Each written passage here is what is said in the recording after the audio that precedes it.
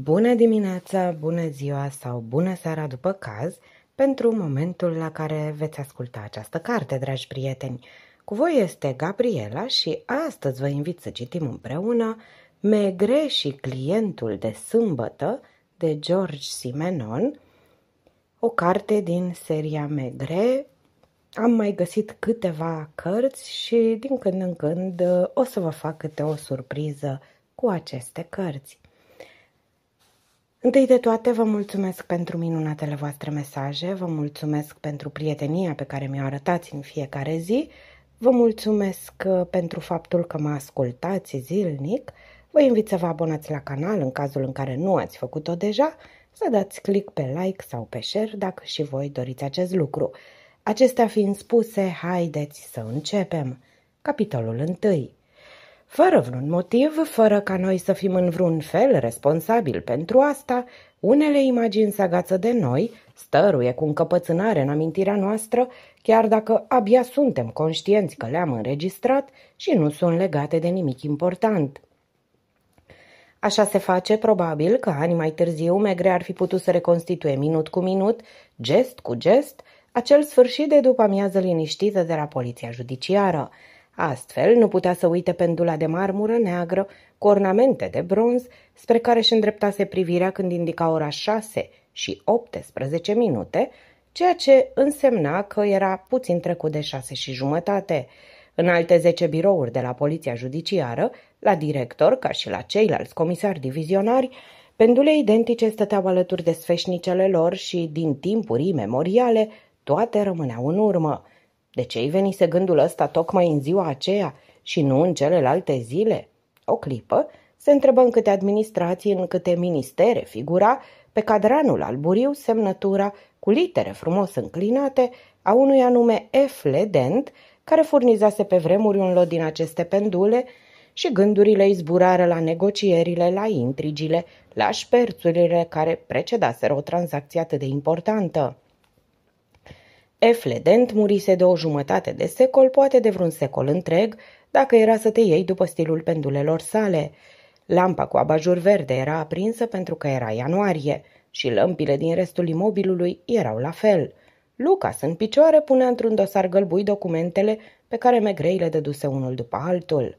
Îl las pe Janvier la Crion? O, prea târziu. Trimite pe cineva diseară să-l schimbe.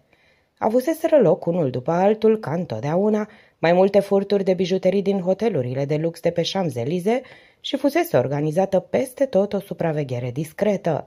Megre apăsă mașinal pe butonul unei sonerii. Bătrânul Joseph, aprodul cu lanț de argint, deschise curând ușa. Mai așteaptă cineva la mine?" întrebă comisarul. În afară de nebună, nu era important. De luni de zile femeia venea de două-trei ori pe săptămână la poliția judiciară, se strecura fără o vorbă în sala de așteptare și se punea pe tricotat. Nu ceruse niciodată să fie anunțată. În prima zi, Joseph o întrebase la cine venise. Ea îi zâmbise cu un aer malițios, aproape ștrengăresc, și răspunsese. Comisarul Megre mă va chema când va avea nevoie de mine. Joseph îi întinsese o fișă. Femeia o completase cu un scris regulat care sugera o educație primită la mănăstire. O chema Clementine Folien și locuia pe strada la Marc. Atunci comisarul îi ceruse lui Janvier să o primească. Ați fost convocată? Comisarul Megre știe. V-a trimis o convocare? Ea zâmbise, delicată, grațioasă, în pofida vârstei. Nu e nevoie de nicio convocare. Aveți ceva să-i spuneți? Poate. Este foarte ocupat în acest moment. Nu-i nimic. Voi aștepta. Așteptase până la șapte seara și plecase. Își făcuse din nou apariția peste câteva zile cu aceeași pălărie mov, același lucru de mână și se așezase ca o clientă obișnuită în sala de așteptare cu geamuri. Pentru orice eventualitate, adunaseră informații despre ea. Ținuse mult timp o mercerie în Montmartre și beneficia de o rentă confortabilă. Nepoții și nepoatele încercaseră de mai multe ori să o interneze, dar de fiecare dată cei de la spitalul psihiatric o trimiseseră acasă, spunând că nu era periculoasă. De unde pescuise numele lui Megre? Nu-l cunoștea din vedere, deoarece comisarul trecuse de mai multe ori pe lângă cușca de sticlă, când bătrâna era înăuntru, dar aceasta nu-l recunoscuse. Ei, Lucas, închidem și noi. Plecau de vreme, mai ales pentru o zi de sâmbătă. Comisarul umplu o pipă și își luă pardesiul, pălăria și fularul din dulap. Trecu pe lângă cușca de sticlă, întorcând capul din precauție și în curte regăsi ceața puțin gălbuie care se lăsase asupra Parisului în cursul după amiezii. Nu era grăbit. Cu gulerul ridicat, cu mâinile în buzunare, dădu o col palatului de justiție, trecu pe sub marele orologiu și traversă Pontoșanj. Pe la mijlocul podului a avut senzația că cineva îl urmărea și se întoarse brusc. Trecătorii erau mulți în ambele sensuri și cam toți mergeau repede din cauza frigului. Era aproape sigur că la zece metri de el un bărbat în negru făcuse dintr-o dată cale întoarsă. Totuși, nu dădu nicio importanță, pentru că la urma urmelor fusese doar o impresie.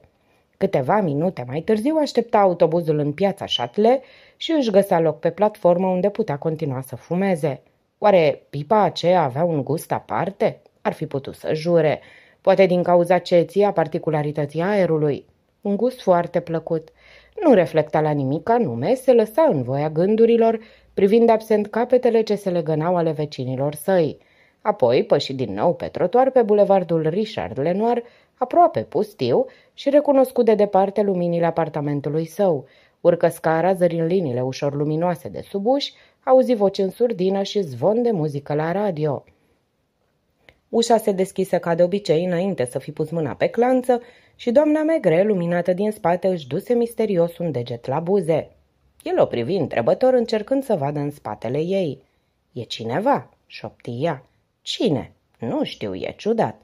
Ce ți-a spus? Că trebuie neapărat să-ți vorbească. Cum arată? N-aș putea să-ți spun, dar miroase a băutură.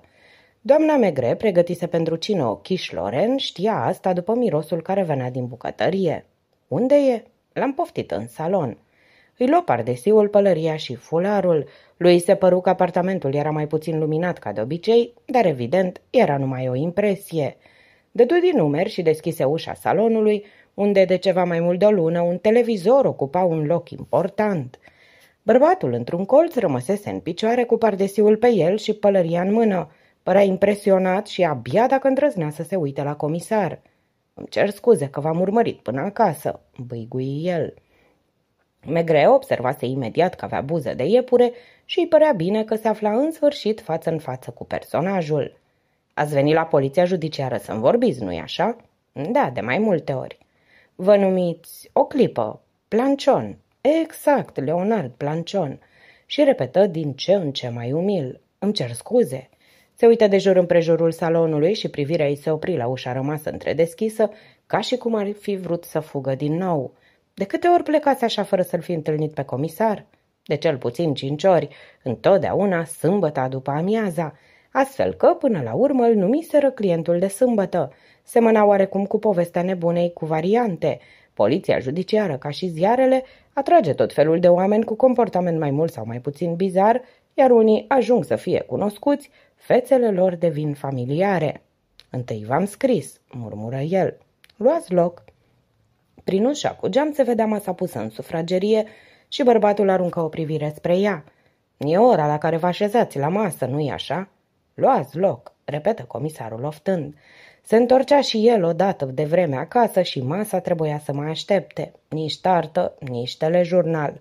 De câteva săptămâni căpătase obiceiul să se uite la televizor împreună cu soția în timp ce mâncau, ceea ce îi făcuse să-și schimbe locul la masă.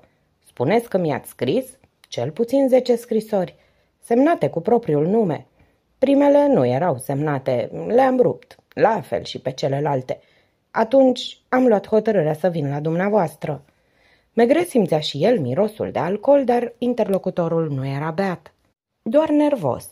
Își strângea atât de tare degetele încrucișate încât falangele se albiseră. Puțin câte puțin prindea curaj să se uite la comisar, iar privirea era aproape imploratoare. Ce vârstă avea? Greu de spus. Nu era nici tânăr, nici bătrân, dând impresia că nu fusese niciodată tânăr. 35 de ani? Nu era ușor nici să determin categoria socială din care făcea parte. Avea hainele prost croite, dar de bună calitate, iar mâinile foarte curate, dar ale unui lucrător manual. De ce ați rupt scrisorile? Mi-a fost teamă să nu mă credeți nebun. Și ridicând ochii, adăugă simțind nevoia să convingă. Nu sunt nebun, domnule comisar. Vă implor să credeți că nu sunt nebun. În general ăsta era semn rău și totuși Megre era deja pe jumătate convins. Își auzea soția trebăluind în bucătărie. Scosese probabil din cuptor tarta care, oricum, de acum era ratată. Așadar, mi-ați scris mai multe scrisori. Apoi v-ați prezentat la poliția judiciară. Într-o sâmbătă, dacă nu mă înșel. E singura zi în care sunt liber. Cu ce vă ocupați, domnule Plancion? Antreprenor pentru lucrări de zugrăvit. O, unul foarte modest. În plin sezon se întâmplă să folosesc 5-6 muncitori. Înțelegeți? Din cauza buzei de iepure, era greu să-ți dai seama dacă zâmbea timid sau făcea o grimasă. Avea ochii de un albastru foarte deschis și părul blond bătând înroșcat. Această primă vizită datează de aproximativ două luni. A scris pe fișă că voiați să mă vedeți personal. De ce? Pentru că n-am încredere decât în dumneavoastră. Am citit în ziare... Bun. În sâmbătă aceea, în loc să așteptați, ați plecat după vreo 10 minute. Mi-a fost teamă. De ce anume? Mi-am zis că nu o să mă luați în serios sau că o să mă împiedica să fac ce aveam în cap. Ați revenit sâmbăta următoare? Da. În acea zi, Megre se afla în ședință cu șeful cel mare și cu alți doi comisari divizionari. Când ieșise după o oră, sala de așteptare era goală. Și atunci v-a fost teamă. Nu mai știam. Ce nu mai știați? Dacă mai voiam să merg până la capăt. Își trecu o mână peste frunte. E atât de complicat. Vedeți dumneavoastră, sunt momente în care mă zăpăcesc. În alt rând, Megrei îl trimisese pe Lucas. Bărbatul refuzase să-i spună pentru ce venise, afirmând că era ceva personal și fugise pur și simplu. Cine v-a dat adresa mea? V-am urmărit. Sâmbătă trecută am fost cât pe ce să intru în vorbă cu dumneavoastră pe stradă, apoi mi-am zis că nu era un loc potrivit pentru o discuție ca aceea pe care voiam să o am cu dumneavoastră, nici în biroul de la poliția judiciară. Poate o să înțelegeți. De unde știați că voi veni acasă în seara asta? Și brusc Megreu și aminti senzația pe care o avusese pe pont Oșanj. Erați ascuns pe chei, nu-i așa? Planșon făcu da din cap. M-ați urmărit până la autobuz. Întocmai. Atunci am luat un taxi și am ajuns aici cu câteva minute înaintea dumneavoastră. Aveți necazuri, domnule Plancion? Mai mult decât necazuri. Câte pahare ați băut înainte să veniți? Două, poate trei. Înainte nu beam abia dacă un pahar de vin la masă. Și acum? Depinde de zile. Sau mai curând de seri, pentru că nu beau în timpul zilei. Mai adineauri am dat pe gât trei pahare de coniac doar ca să-mi fac curaj. V-am supărat? Megreu își fuma lent pipa fără să-și ia ochii de la interlocutorul său încercând să-și formeze o părere. Încă nu reușise. Intuia la plancion o latură patetică care îl deruta. Lăsa impresia unei patimi stăpânite, a unei suferințe strivitoare, dar și a unei răbdări extraordinare. Ar fi băgat mâna în foc că omul acela avea puține contacte cu semenii lui și că la el totul se petrecea în interior. De două luni era chinuit de nevoia de a vorbi. Încercase sâmbătă de sâmbătă să se prezinte în fața comisarului și de fiecare dată renunțase în ultimul moment. Ce-ar fi să-mi spuneți pur și simplu toată povestea? Altă privire spre sufragerie unde cele două tacâmuri așteptau în fața televizorului. Mi-e rușine că vă rețin de la masă. Va dura mult. Soția dumneavoastră o să se supere. Auziți? Dacă vreți, o să aștept aici până mâncați. Sau mă întorc puțin mai târziu. Chiar așa, o să mă întorc puțin mai târziu. Dădea să se ridice, dar comisarul îl obligă să rămână la locul lui. Nu, domnule Plancion, de data asta sunteți hotărât, nu-i așa? Spuneți-mi ce vă tulbură. Spuneți-mi față către față ce mi-ați scris în toate scrisorile pe care le-ați rupt. Atunci, brusc, fixând covorul cu motive vegetale roșii, bărbatul băigui. Vreau să-mi ucid soția. Privirea îi se ridică imediat spre fața comisarului, care, nu fără greutate, reuși să nu aibă nicio reacție. Intenționați să vă omorâți soția? Trebuie. Nu mai am altă ieșire. Nu știu cum să vă explic. În fiecare seară îmi spun că asta se va întâmpla, că e imposibil să nu se întâmple într-o zi sau alta. Atunci m-am gândit că, dacă v-aș spune... Bărbatul scoase o batistă din buzunar, își șterse lentilele ochelarilor căutându-și cuvintele, iar Megre observă că i-a târna un nasture de la haină. În pofida emoției, Plancion surprins această scurtă privire și schiță un zâmbet sau o grimasă. Da, și asta, zise el din vârful buzelor. Nici măcar nu se mai preface. Că ce? Că are grijă de mine, că e soția mea. Regreta oare că venise. Se foia pe scaun și privea uneori spre ușă, ca și cum ar fi vrut să se repeadă brusc afară. Mă întreb dacă nu cumva am greșit. Și totuși, sunteți singurul om de pe lume în care am încredere. Mi se pare că vă cunosc de mult timp. Sunt aproape sigur că veți înțelege. Sunteți gelos, domnule Plancion. Cele două priviri se întâlniră. Megre a avut impresia că citea o sinceritate totală în ochii lui.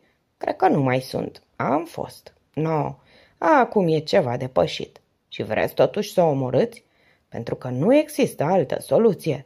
Atunci mi-am zis că dacă v-aș preveni printr-o scrisoare sau prin viu grai, întâi era mai cinstit, apoi poate prin faptul însuși mi-aș schimba gândul. Înțelegeți? Nu, e imposibil să înțelegeți dacă nu o cunoașteți pe Rene.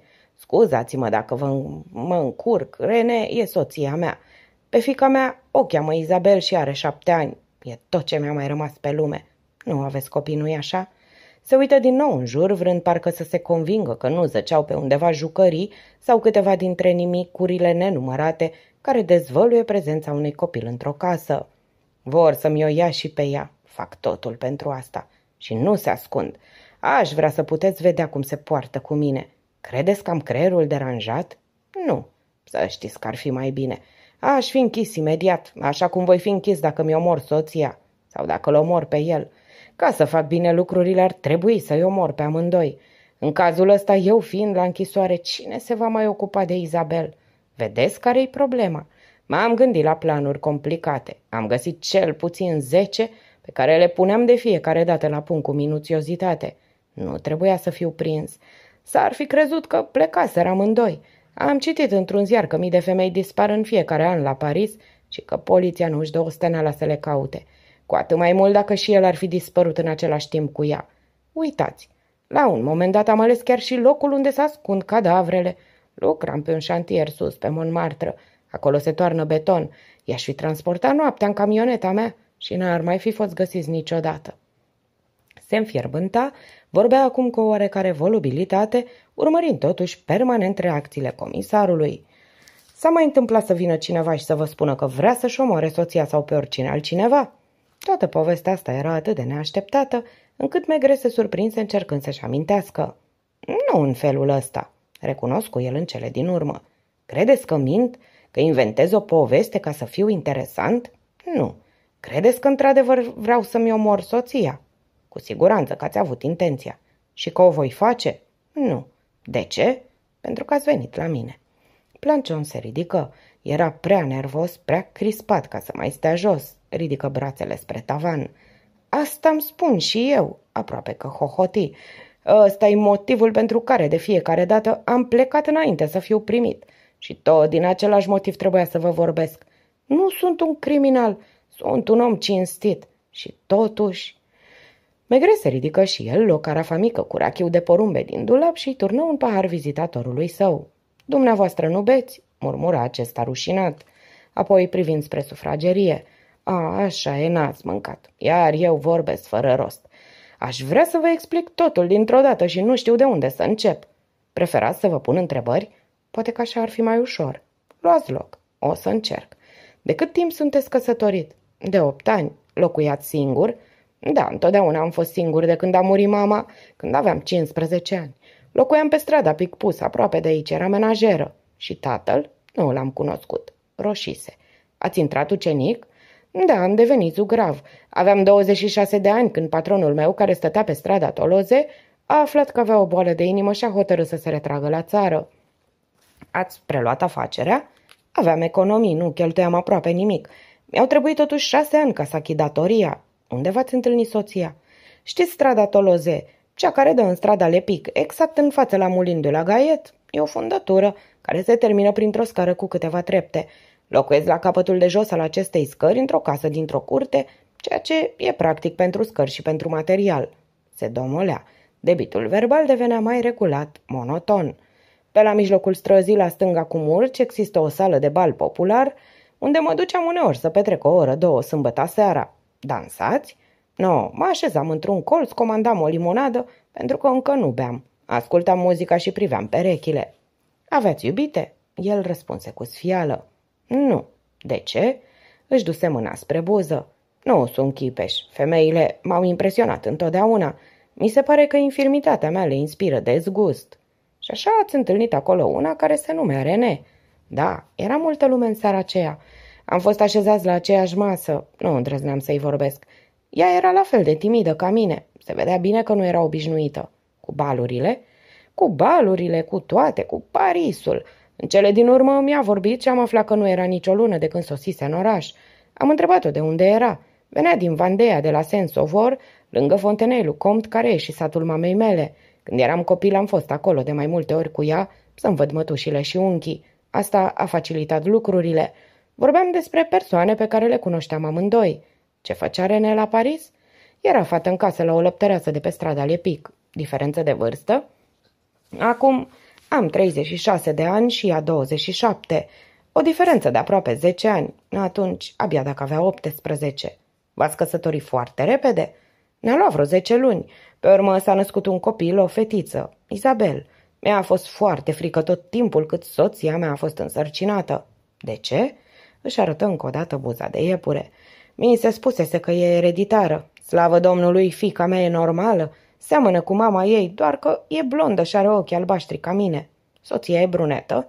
Așa cum sunt multe în Vandea. Se pare că din cauza marinarilor portughezi care veneau acolo să pescuiască. Și acum vreți să o omorâți? Nu văd altă soluție. Am fost fericiți toți trei. Poate că Rene nu era o bună gospodină. Nu vreau să o vorbesc de rău. Și-a petrecut copilăria la o fermă unde nu se prea preocupau de ordine și curățenie. În smârcurile de acolo, aceste ferme se numesc cabane și iarna se întâmplă ca apa să vină peste ei în casă. Știu. Ați fost acolo? Da. Mi se întâmplă deseori să fac eu treaba în casă la sfârșitul zilei. La vremea aceea eram moartă după cinema și după amiaza o lăsa pe Izabel la portăreasă ca să se ducă la film. Vorbea fără resentimente. Nu mă plângeam. Nu trebuie să uit că e prima femeie care s-a uitat la mine ca la un om normal. Înțelegeți și asta, nu-i așa? Nu mai îndrăznea să întoarcă privirea spre sufragerie. Și eu, care nu vă las să vă așezați la masă, ce o să creadă soția dumneavoastră? Continuați. Câți ani ați fost fericit? O clipă. N-am socotit niciodată.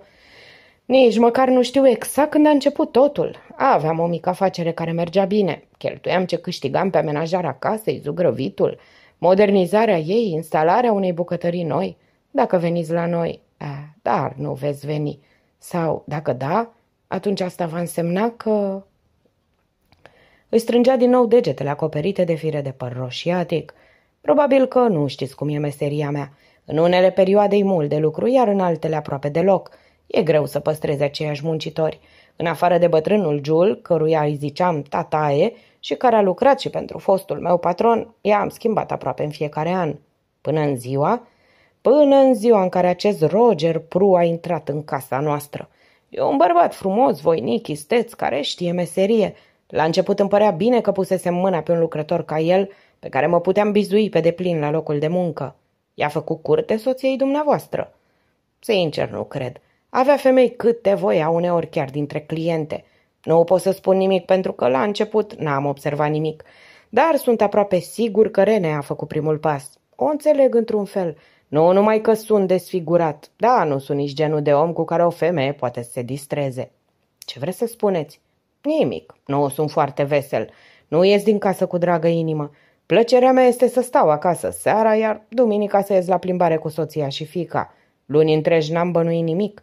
Când eram la muncă lui Prui, se întâmpla să dea o fugă până pe strada Toloze să aducă ceva materiale. Odată, când am venit acasă pe neașteptate acum doi ani, am găsit-o pe fica mea singură în bucătărie. O văd și acum. Stătea pe jos. Am întrebat-o, unde-i mămica? Mi-a răspuns arătând spre dormitor. Acolo. Avea atunci cinci ani. Nu mă auziseră intrând și i-am găsit pe jumătate goi. Pru părea preocupat. Soția mea m-a privit însă în față și mi-a spus, Ei bine, acum știi. Ce-ați făcut? Am plecat. Nu știam încotro mergeam și nici ce voiam să fac. M-am trezit la o teșghea unde m-am îmbătat pentru prima dată în viața mea. Mă gândeam mai ales la fetiță. Îmi puneam în gând să mă duc să o iau. Îmi ziceam, ea ta? N-au dreptul să o țină ei. Apoi, după ce am rătăcit o bucată de noapte, m-am întors acasă. Mi-a fost foarte rău. Soția mă examina cu o privire dură și când am vomat pe covorașul de lângă pat, a bombănit. Îmi faci silă. Așa a început totul. Cu o zi înainte eram un om fericit. Deodată, unde-i Roger Pru? La mine acasă. băigui plancion lăsând capul în jos. De doi ani? Da, aproape. Locuiește cu soția dumitale? Locuim toți trei. Își șterse din nou lentilele ochelarilor și clipi. Vi se pare incredibil? Nu. Înțelegeți că nu am fost în stare să o părăsesc. Să vă părăsiți soția? La început, pentru ea am rămas. Acum, nu mai știu. Cred că numai pentru fica mea, dar poate că mă înșel. Vedeți, dumneavoastră, mi se părea imposibil să trăiesc fără Rene. Când mă gândeam că rămân singur și nu aveam dreptul să o dau afară din casă, eu o implorasem să se căsătorească cu mine. Eu eram răspunzător, nu? Își trase nasul, aruncând o privire spre carafa mică cu rachiu. Megrei umplu din nou paharul pe care bărbatul îl goli pe nerăsuflate. O să ziceți că sunt bețiv. Și e adevărat că aproape asta am ajuns. Seara n-au chef să mă vadă acasă. Puțin lipsește să nu mă dea afară de tot. Nu vă puteți închipui cât de răi sunt cu mine. Brus a instalat în casă din ziua în care i-a surprins? Nu, nu imediat. A doua zi dimineața am fost surprins când l-am văzut venind de la lucru, ca și cum nu s-ar fi întâmplat nimic. N-am îndrăznit să-l întreb ce avea de gând. Mi-era teamă să nu-l pierd, v-am spus.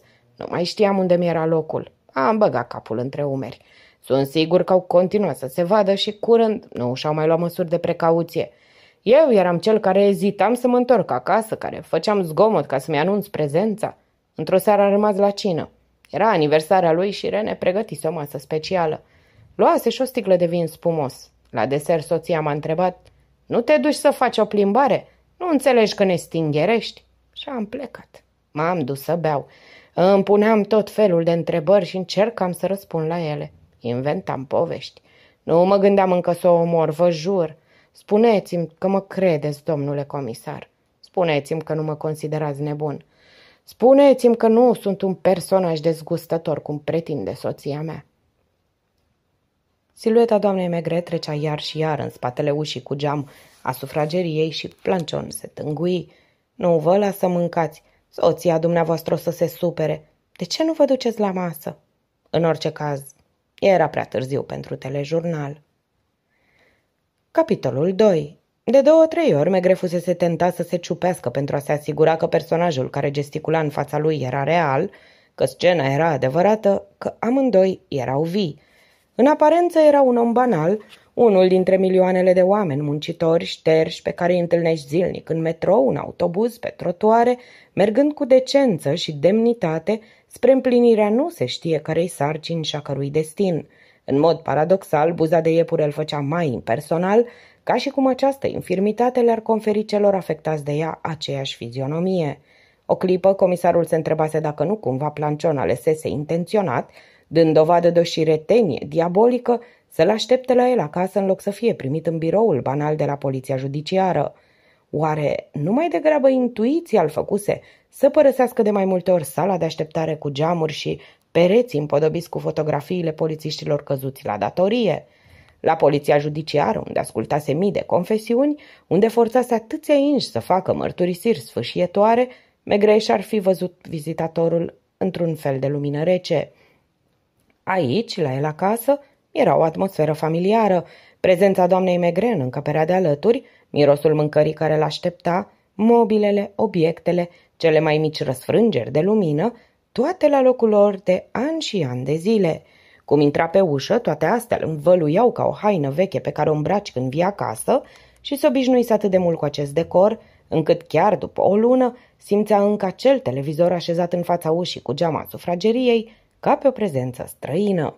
Ar fi oare în stare, în această ambianță, să ia un interogatoriu la fel de lucid și de detașat ca în biroul lui, unul dintre acele interogatorii care durau și ore în șir, uneori noaptea întreagă, și care le puizau la fel de mult ca și pe interlocutor. Pentru prima dată în cursul carierei sale, un om venea la el, după ce ezitase săptămâni la rând, după ce îl urmărise pe stradă, după ce îi scrisese, pretindea el, scrisori și le rupsese, după ce stătuse ore în sala de așteptare, un om care nu avea nimic excepțional în ținută și înfățișare pătrunsese la el în casă, umil și încăpățânat totodată, ca să-i spună în esență Am de gând să omor două persoane, pe soția mea și pe amantul ei. Am pregătit totul în acest scop, m-am gândit la toate detaliile ca să nu fiu prins. Și, în loc să reacționeze cu scepticism, Megreu îl asculta cu atenție pasionată și nu scăpa niciuna dintre schimbările fizionomiei lui.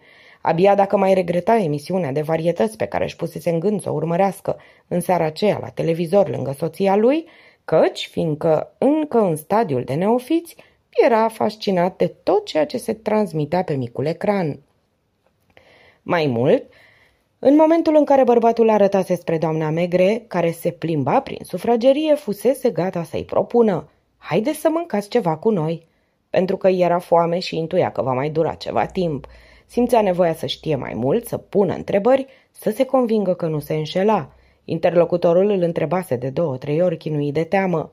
Spuneți, credeți că sunt nebun? Se gândise și el la această ipoteză. Știa din experiență că există multe grade de nebunie, iar fosta patronă de mercerie care venea să tricoteze surâzătoare în sala de așteptare, zicându-și că va avea nevoie de ea, era un astfel de exemplu. Bărbatul băuse înainte să vină la el. Recunoscuse că bea în fiecare seară, iar comisarul îl servise cu rachiu pentru că individul avea nevoie de alcool. Alcoolicii se afundă de bunăvoie într-o lumea lor, care seamănă cu lumea adevărată, dar cu o oarecare distorsiune ce nu e întotdeauna ușor de descoperit. Și sunt și ei sinceri. Toate ideile acestea îi trecuseră prin minte în timp ce asculta, dar nu era mulțumit de niciuna. Încerca să înțeleagă mai mult, să se cufunde în universul stupefiant al lui Plancion. Așa am început să mă simt în plus, zise acesta, privindu-l cu ochii lui albaștri. Nu știu cum să vă explic. O iubeam. Cred că o iubesc încă. Da, sunt aproape sigur că încă o iubesc și voi continua să o iubesc, chiar dacă trebuie să o omor. În afară de mama, este singura ființă care s-a arătat interesată de mine fără să o deranjeze infirmitatea mea. În plus e soția mea. Orice ar face, soția mea, nu-i așa? Mi-a dăruit-o pe Isabel, a purtat-o în pântece. Nu vă puteți închipui ce luni am trăit când a fost însărcinată. Mi se întâmpla să mă așez în genunchi în fața ei, mulțumindu-i pentru nu găsesc cuvintele. Era ceva din viața mea în viața ei, înțelegeți? Iar Isabel e puțin din viața noastră amândorura. Înainte eram singur. Nimeni nu avea grija mea. Nimeni nu mă aștepta seara. Munceam fără să știu pentru ce. Își luase deodată un amant și abia dacă puteam să fiu supărat pe ea. E tânără, e frumoasă. El, Roger Pru, e mai viguros decât mine. E ca un animal care emană forță și sănătate. Doamna Megre, resemnată, se întorsese în bucătărie. Megreș își umplu încet încă o pipă. Mi-am zis o mulțime de lucruri. Îmi spuneam mai ales că nu va dura, că se va întoarce la mine, că va înțelege că eram legați unul de celălalt, orice ar face. Vă plictisesc? Nu, continuați. Nu, mai știu foarte bine ce spun. Cred că în scrisori mă exprimam mai clar și mult mai pe scurt. Dacă aș mai merge la biserică ca atunci când trăia mama, m-aș fi dus probabil să mă spovedesc. Nu mai știu cum m-am gândit la dumneavoastră. La început nu-mi imaginam că voi avea curajul să vin la dumneavoastră. Acum când sunt aici, aș vrea să spun totul dintr-o dată. Jur că nu vorbesc atât de mult pentru că am băut. Îmi pregătisem fiecare frază. Unde rămăsesem? Clipea des și se juca în mână cu o scrumieră de aramă pe care o luase fără să-și dea seama de pe o măsuță. În seara aniversării lui Pruv au dat afară. Nu chiar pentru că știau că voi veni înapoi. M-au trimis la plimbare ca să petreacă seara singuri. Sperați încă să fie numai o aventură. Vă par naiv? Ce s-a petrecut de atunci? Oftă și dădu din cap ca unul care nu mai reușea să-și urmărească șirul gândurilor.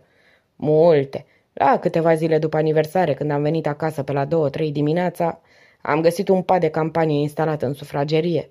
N-am înțeles imediat că era pentru mine. Am întredeschis ușa dormitorului, erau amândoi în patul nostru și dormeau sau se prefăceau că dorm. Ce aș fi putut să fac? Roger Pru e mai voinic decât mine. În plus, nu prea mă țineam bine pe picioare. Sunt convins că ar fi fost în stare să dea în mine. Și apoi nu voiam să se trezească Izabel. Nu înțelege încă. Pentru ea, eu rămân tatăl ei. Am dormit pe patul de campanie și când s-au sculat dimineața eram deja la atelier. Muncitorii m-au privit cu un aer bat jocoritor. Numai bătrânul Jules, cel căruia îi spunem tataie și are tot părul alb, a avut altă atitudine. Lucra acolo dinaintea mea, cred că v-am spus. Mă tutuiește. A venit la mine în fundul atelierului și a mormăit. Ascultă, Leonard, e timpul să o dai pe muierea asta afară. Dacă nu o faci acum, o să se sfârșească rău. A, înțeles că n-aveam curajul. Mă privea în ochi cu o mână pe umărul meu și în cele din urmă a spus, oftând. Nu te știam atât de bolnav. Nu eram bolnav. Pur și simplu o iubeam încă. Aveam nevoie de ea, de prezența ei, chiar dacă se culca cu altul. Vă cer să-mi răspundeți sincer, domnule Megre.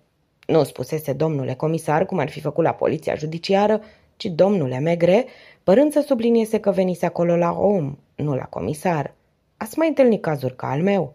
Mă întrebați dacă alți bărbați au rămas cu soțiile lor știind că aveau amanți? Cam așa ceva. Sunt mulți. Numai că, presupun, li se păstrează locul în casă. Soțiile cel puțin se prefac că le acordă o anumită importanță, nu? Mie nu. Sunt aproape doi ani de când mă împing încet afară. Abia dacă mi se mai pune tacâmul la masă. Nu Pru este străinul, ci eu. În timpul mesei vorbesc între ei, râd, îi se adresează fiicei mele, ca și cum n-aș fi decât o fantomă. Duminica iau camioneta să se plimbe la țară. La început rămâneam cu Izabel și găseam întotdeauna cum să o distrez. Oare aș fi plecat dacă n-ar fi fost Izabel? Nu știu. În orice caz acum, fiica mea se duce cel mai adesea cu ei, pentru că e mai plăcut să se plimbe cu mașina.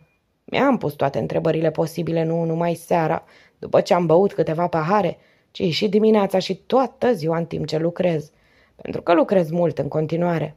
Întrebări sentimentale, da, și practice. Chiar m-am dus să consult un avocat acum trei luni. Nu i-am spus tot ce v-am povestit dumneavoastră, pentru că aveam impresia că abia dacă mă asculta și că la gasam. În definitiv, ce vreți? m-a întrebat. Nu știu. Divorțul? Nu știu. Mai mult decât orice vreau să-mi păstrez fica. Aveți dovezi ale purtării morale a soției dumneavoastră? Vă spun că în fiecare noapte dorm pe un pat de campanie, iar ei doi în dormitorul meu.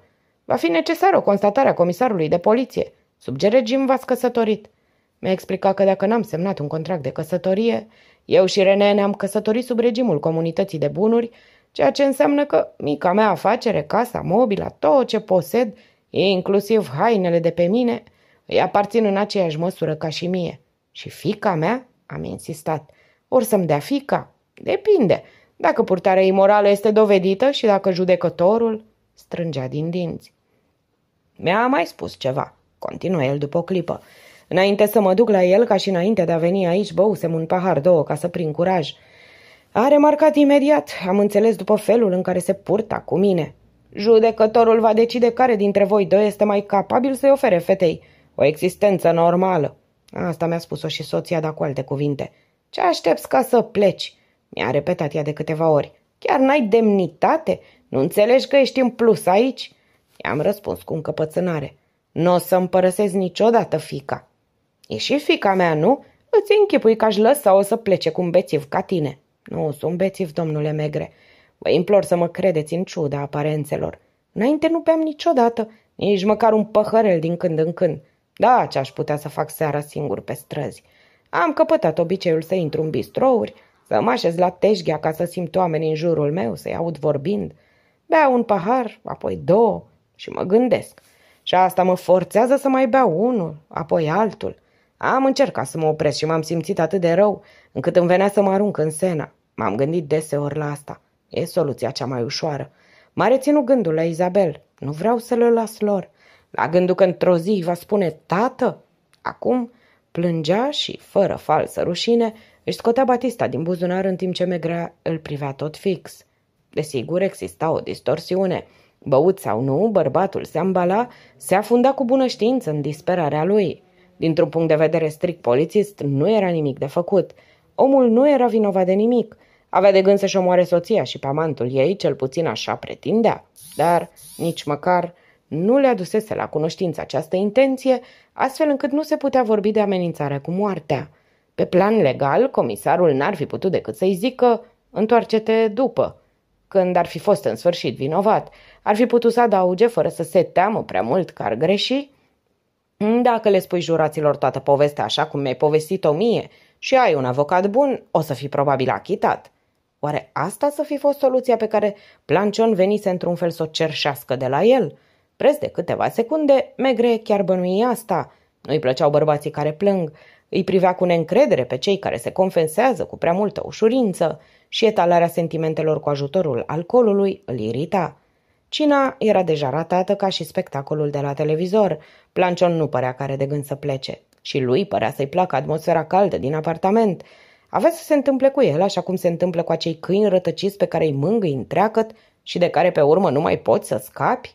Scuzați-mă, băigui Plancion, ștergându-se la ochi. Vă par probabil ridicol. E prima dată în viață când spui, spun cuiva tot ce am pe suflet.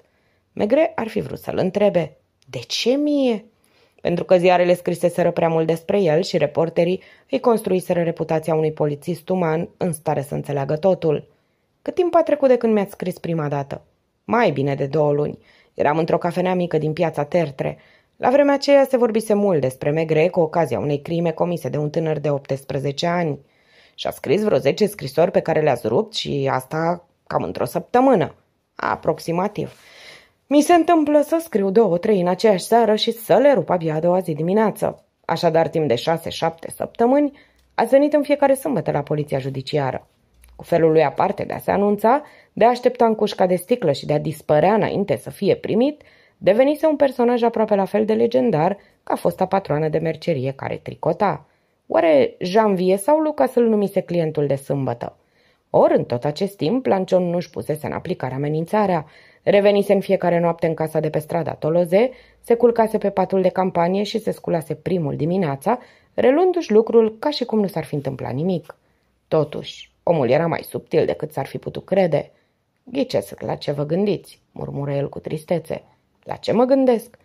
Că accept această situație de aproape doi ani, că de două luni tot spun că îmi voi omorâ soția sau îi voi ucide pe amândoi. Și? Din moment ce încă n-am făcut-o. Recunoașteți. Vă spuneți că nu voi avea niciodată curajul. Megrez cutură din cap. Nu-i nevoie de niciun curaj pentru asta. Asasinatul e la îndemâna oricărui idiot. Și când nu există altă soluție, puneți-vă în locul meu. Aveam o afacere bună, o soție, un copil. Mi se ia totul.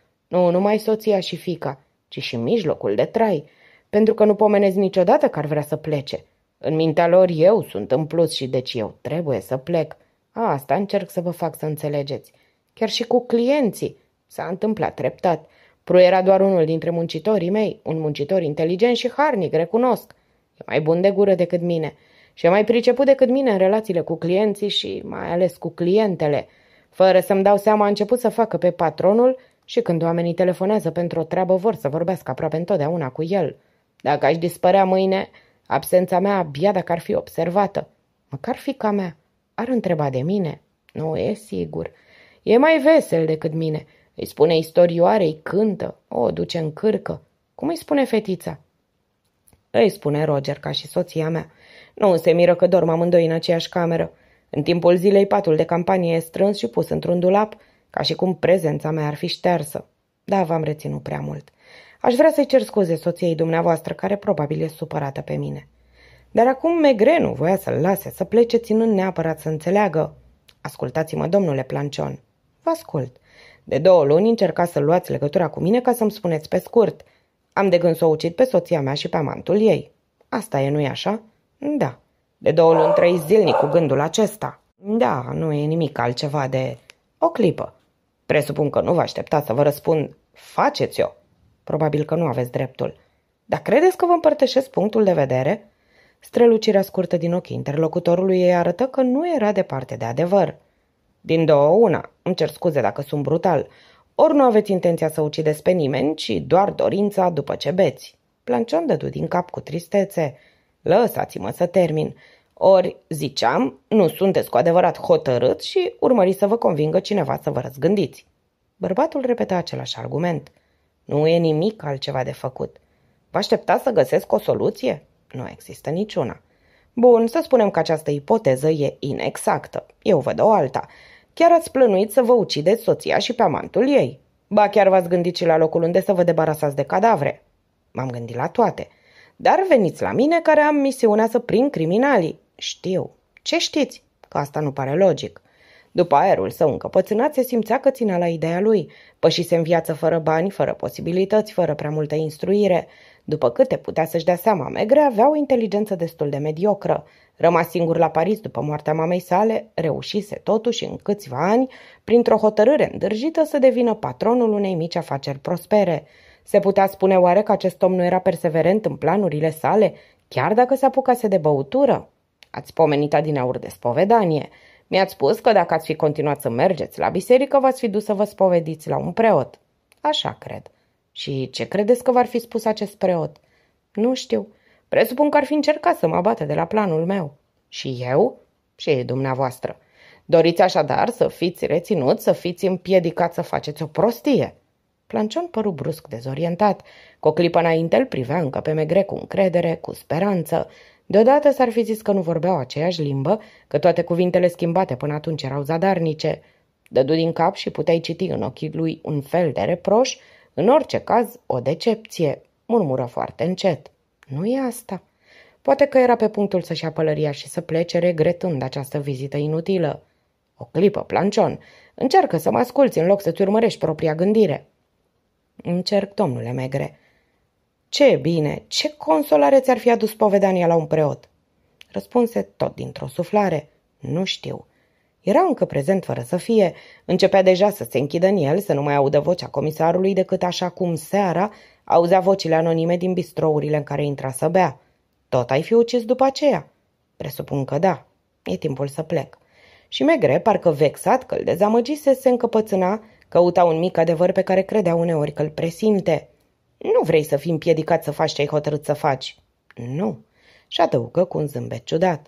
Dacă nu sunt băgat la închisoare, nu e posibil. Și nu pot fi băgat la închisoare cât timp n-am făcut nimic. Așa încât ai venit la mine după un fel de iertare a păcatelor. Ai nevoie să știi că vei fi înțeles, că nu ești un monstru și că planul dumitale este singura soluție care îți rămâne. Bărbatul repetă. Nu știu. Era atât de absent încât lui Megrei venea să-l scuture de umeri, să-i vorbească mai tare, față lângă față, ochi în ochi. Ascultă, plancion! Și el se repeta. Era poate a zecea oară când rostea aceste cuvinte. După cum ai spus, n-am dreptul să te arestez, dar am posibilitatea să te pun sub supraveghere, chiar dacă asta nu poate să împiedice nimic. Vei fi arestat imediat.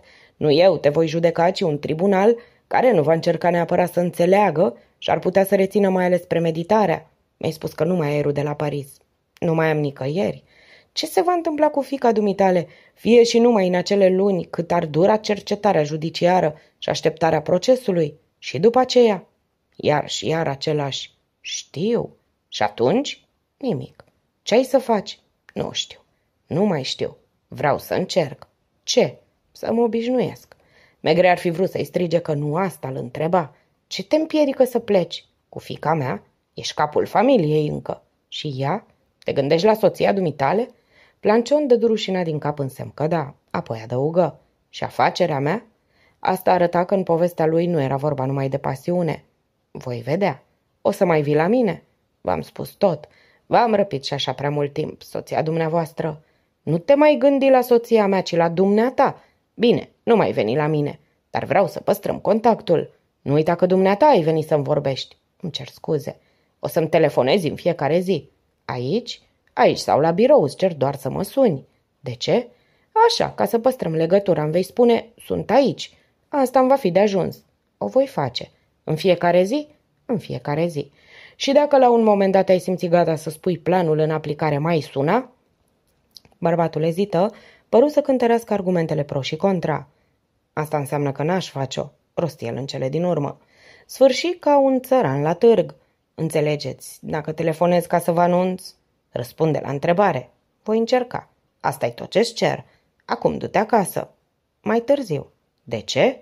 Nu e ora încă, sunt amândoi în sufragerie. Eu ce-aș face acolo? O să bați iar bistrourile? Plancion dădu din nume resemnat și aruncă o privire spre rachiul de porumbe.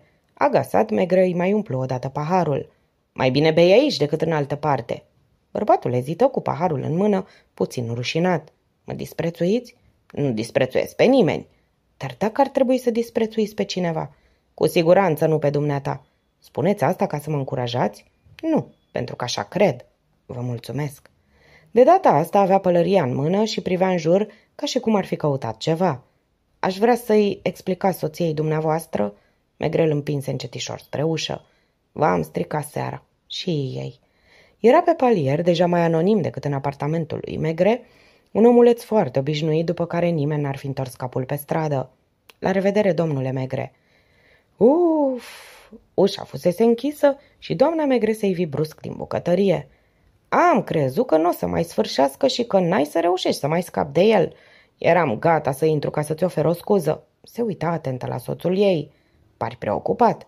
Sunt. E nebun? Nu cred. Ea îi punea rare ori întrebări, dar totul se întâmplase în casa lor. În timp ce aducea supa, vrut totuși să știe și murmură. De ce a venit? Să se spovedească. Ea nu a avut nicio reacție și se așeză la locul ei. Nu dai drumul la televizor? Probabil că programul e pe terminate. Pe vremuri, sâmbătă seara, când nu era reținut la birou, mergeau amândoi la cinema mai puțin pentru spectacol și mai mult ca să iasă împreună. Braț la braț se îndreptau spre bulevardul Bon Nouvel și se simțeau bine așa, fără să fie nevoie să vorbească. Mâine ne vom duce să facem o plimbare în Montmartre, o anunță Megre acum. Tot braț la braț, asemenea celor ieșiți la plimbare duminica. Voia să revadă strada Toloze, să caute în fundul unei curți casa unde locuiau Leonard Plancion, soția, fica lui, Isabel și Roger Pru. Avusese dreptate? Greșise? Găsise cuvintele potrivite. Plancion găsise, venind la el, ceea ce căutase? La ora aceea stătea într-un bistrou și bea, gândindu-se probabil la tot ceea ce spusese. Era imposibil de știu dacă această întrevedere, atât de dorită și atât de des amânată, îi adusese vreo alinare sau dacă, din potrivă, avea să provoace un fel de declic. Era prima dată când Megre părăsea un om pe palierul locuinței sale, întrebându-se dacă acesta puțin mai târziu nu va omorâ două persoane. S-ar fi putut întâmpla chiar în noaptea aceea, dintr-o clipă în alta, poate chiar în momentul în care Megre se gândea la toate astea. Ce ai? Nimic. Nu îmi place povestea asta. Se gândi să telefoneze la comisariatul din arondizmentul 18 și să ceară să fie supravegheată casa lui Plancion. Da, puteai să pui un polițist să stea de pază în dormitor? Din stradă, un agent n-ar fi împiedicat nimic.